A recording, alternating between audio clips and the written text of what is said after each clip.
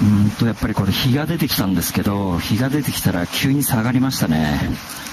もう一気に下がりましたね、多分。手前は多分釣れると思うんですけど、沖の方はもう一気に下がっちゃいましたね。すごい引きますね、やっぱり。いや、足なんか刺されちゃった。ブヨじゃないことを願いますね。なんか、虫除けスプレーやってきたんですけどね、なんか刺されちゃった。ここ結構やられるんですよね。はい。はい。